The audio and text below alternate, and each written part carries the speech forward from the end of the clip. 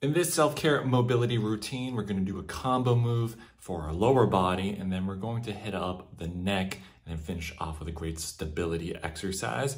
If you don't have time right now, make sure you save this video and come back to it and put aside at least 10 minutes to finish it. But I hope you enjoy. A hip flexor stretch to a hamstring stretch. I'm gonna count this as two stretches because it's a combo move.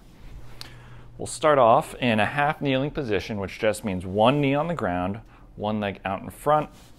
I like it to be around 90 degrees with the knee. If it's more, then you have to be a little bit more flexible. If you're not as flexible, bring that foot in just a little bit. But one leg out in front. And then from here, what we're gonna do is we're gonna shift forward, getting a good stretch on our hip flexor. Arms come over ahead, lean back slightly and then we're going to drop our hip back, straighten this front leg out, sink down, getting a hamstring stretch. This front leg can be slightly bent, it can be straight. Everyone's going to be different. Find what works best for you. Because this is counts for two, we're going to do 10 reps on each side. Nice good rhythm here, not too fast, nice, not too slow. And we'll do 10 on the left. We'll do 10 on the right. Let's go and try to keep everything pointing in one direction. So when we're doing our hip flexor stretch, try to keep our hips, our shoulders, and our head pointing forward. Don't let anything open up too much. Here we go. Good one.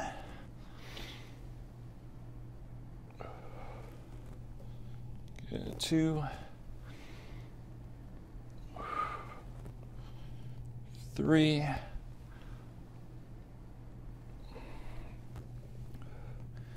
Four, five, six, seven, eight, nine, 10. I got a little unbalanced on that last one. Let's do 10 on the other side. Here we go.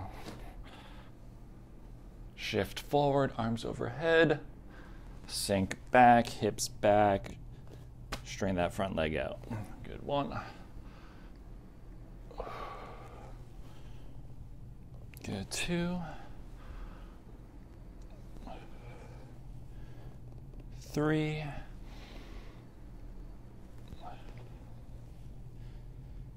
four, five,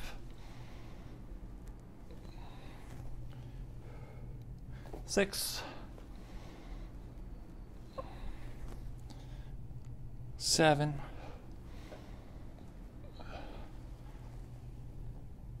eight, nine, and 10. 20 reps total, 10 reps on each side, hip flexor stretch to a hamstring stretch. That counted for two, so let's go to number three, and that is going to be a half kneeling T-spine windmill. Need a wall for this. If you don't have a wall, I'll give you an alternative. But what we're going to do is you're going to take one leg, the inside leg, place it out in front just like we were, so half kneeling, one leg on the ground, one leg out in front, so that front leg is going to be closest to the wall. The closer you get to the wall, the tougher it's going to be. So if you struggle with this, or you know that you're limited in T-spine rotation, then just back off the wall a little bit.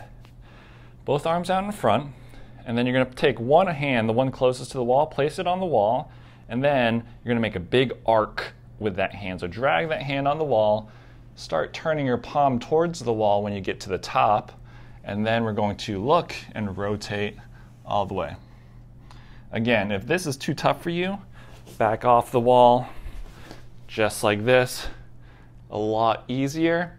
If this is even tough for you, ditch the wall, arms out in front, and just rotate. We're gonna do five reps here. Again, about like a four to five count all the way to the other side. And uh, let's do it. So five reps on each side.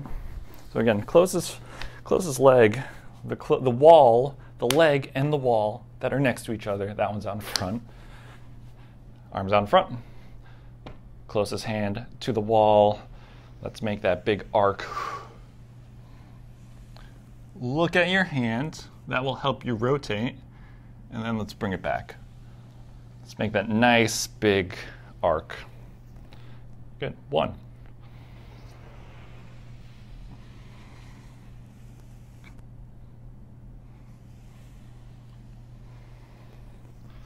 Good. Two.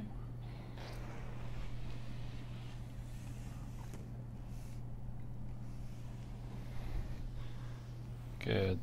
Three. I'm going to challenge myself a little bit, get a little bit closer to the wall. Let's do four. Oh, a lot tougher. Good. Four. Let's go into our last one.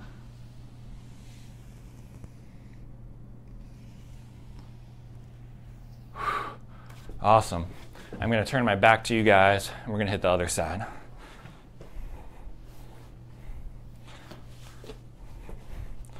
Let's get started. One hand or one hand on the wall, big arc.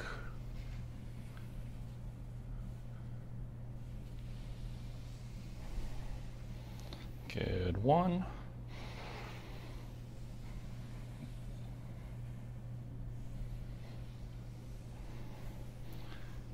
Good two.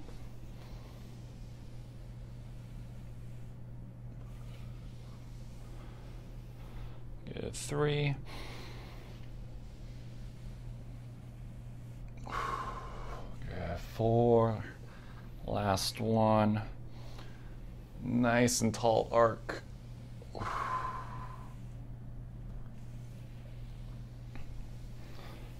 All right. Five reps. T spine, windmill, half kneeling. Let's finish it up with just a nice light trap stretch. We're to be seated. Grab my timer here. You can be kneeling, you could be cross legged, it doesn't matter.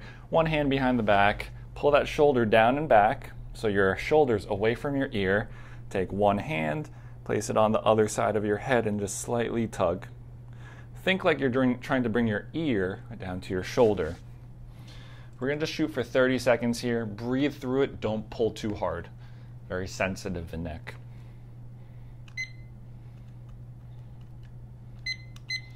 And let's get it started 30 seconds on each side. Again, for me, I feel a nice little stretch here. Any more might just be a little too uncomfortable. So find kind of that perfect spot where it just stretches, you know, just a little bit, but it's not too uncomfortable.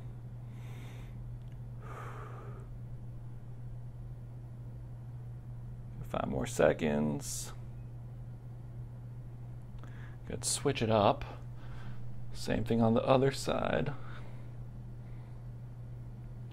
We'll go maybe five more seconds after the you hear the beep. So don't stop when you hear the beep. We'll hold it for five more seconds.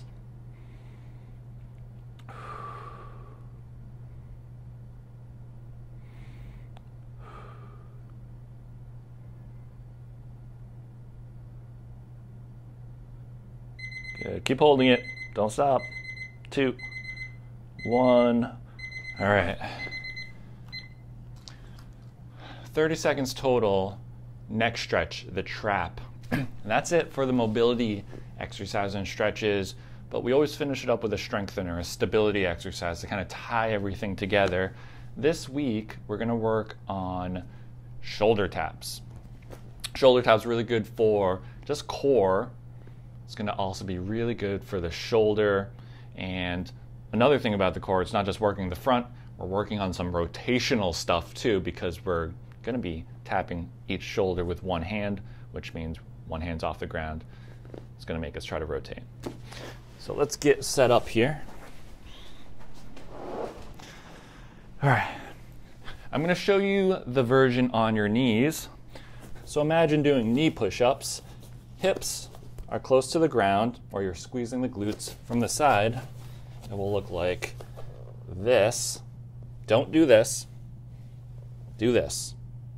And then from here, we're going to lift one hand up and touch the opposite shoulder without rotating. So when we're lifting up that, that hand to tap the shoulder, what I want you to do is keep the core nice and tight, keep the butt nice and tight, push away from the floor, and that's what it looks like. I don't want to see this, don't want to see this. Very steady with all the movements. If that's too easy for you, you're like, Joe, I'm stronger than that. Push up position, legs wide, and then shoulder taps closer the feet, the tougher it is. Find the version that works for you, but this is going to help tie everything together. You need some strength to make the flexibility and mobility last. So let's go for it. I'm going to shoot for just knees on the ground today. Again, keys here squeeze butt, push away from the floor, try not to rotate. Don't hold your breath either. Let's go. 10 reps on each side. Okay, good. Here we go. So let's tap. One, one, Get two, two, three, nice and slow, three, don't rotate, four, good, four, five, five, push away from the floor, six, six, seven, seven, almost there, eight, eight, nine, nine, last one, ten, and 10.